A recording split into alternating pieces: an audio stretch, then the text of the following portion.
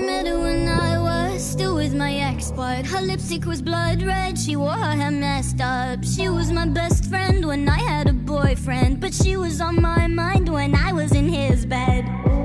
So we kept in touch, cause I wanted to touch her. I got kinda drunk and told her that I liked her. She said, You're the best, this girl has got me all messed up.